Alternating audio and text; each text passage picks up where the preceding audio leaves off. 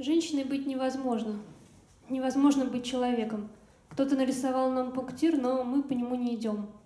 Да и как по нему ходить? Точки и точки. А жизнь кипит, продолжается и растет. Дочь говорит о том, о чем и подумать не мог.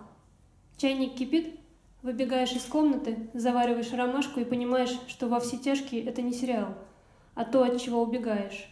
Но если бы замер и постоял, то увидел Байкал какой-то там бескрайний, красивый, или как ты предполагал. Больше всего мне нравится, как подбирает слова. Будто из Севастополя получаешь открытки. Слушаешь и чувствуешь. Ты — корабль. Разноцветные ягоды, след от пули на храме святого Владимира. Кошка пригрелась на подоконнике, голубь топчется у ног Нахимова.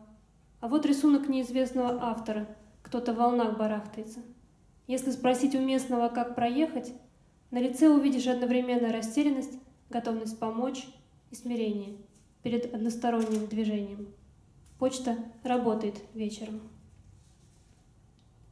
Друг приходит человек, говорит, сейчас война, твое дело убивать, твое дело умирать. Парке дерево растет, говорит, сейчас зима, твое дело помолчать, твое дело подождать. Есть весна, и есть Христос, к настоящей жизни мост.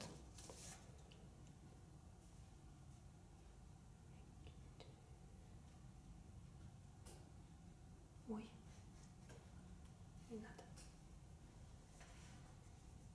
Киваю тебе, заходи, шпаклюем, крашу, собираем мебель.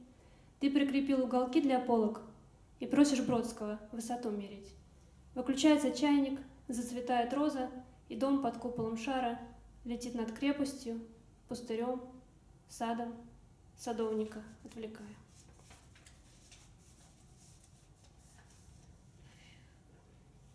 Отец моего ребенка вышел из рая.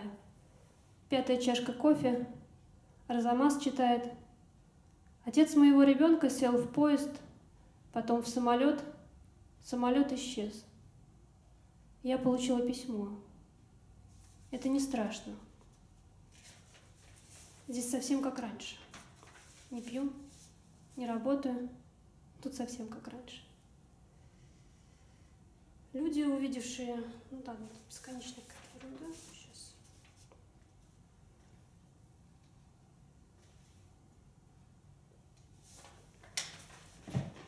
Чем больше узнаешь человека, тем больше видишь ребенка и старика. То поддакивать неуместно, то без повода обнимать. Вот и спрашиваешь мужчину, где любимый? Цыпленком из скорлупы, то пеленки, а то морщины. Кто здесь женщину обними?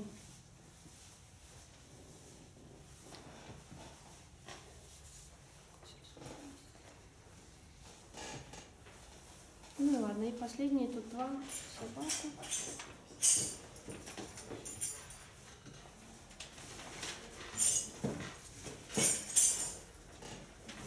Влюбленный человек думает, что с ней делать? Острова нет, в театре ходить некогда. Поцелуешь? Спросит, а дальше? Дальше вечный огонь, не забыть телефон, встреча с менеджером по продажам в два, заплатить аренду, позвонить отцу, сообразить, когда резину менять. График забит под завязку. В ежедневник смотреть страшно, а здесь еще это, чудо. Влюбленная женщина думает, ладно, не буду я. В одиночестве, как в булке с изюмом, что-то есть. Своя косточка винограда, фиолетовый цвет в полосе заката, случайно записанный всплеск цветка. Можно пойти домой, забыв телефон, утром его найти у песка в ногах. Вот было такое мрачное, сейчас я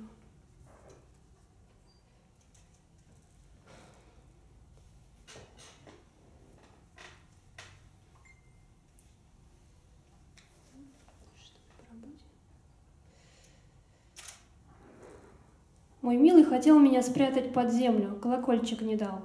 Напрасно ты сторожа будешь тревожить, к людям любви в тебе не на грамм. Я прилежалась, привыкла, согрелась. Спокойно, мой милый, живи и танцуй. Я утром любимой была, а к полудню мой милый меня разлюбил. Это такая страшная история про то, что раньше... ну ладно, не буду. А что раньше? Ну, когда в средние века не знали, точно умер или нет, поэтому когда закапывали, то протягивали ниточку и колокольчик ставили снаружи, чтобы, если что, подергал. Позвонил. Да, позвонил. И мы тут... Или... Не знаю, мне кажется, я, я только могу подумать, что сторож был седой, потому что только ветер подует, как бы, блин, не знаю, что делать. Так, ну вот, два последних. А, чувствую себя собакой в переноске. Шапочку дурацкую напялили. Хлопья снега на нос в глаза. Мир огромный и бессмысленный, шумный, бесконечно продолжается. Снилось ночью, что я девочка, вышедшая, вышедшая замуж за флориста. Розы, гиацинты и гвоздики. Утром в лифте тетеньку облаяла. Крупная такая. Было страшно. Поезд из Смоленска не возвращается. Там Белое море, пустыня Гоби.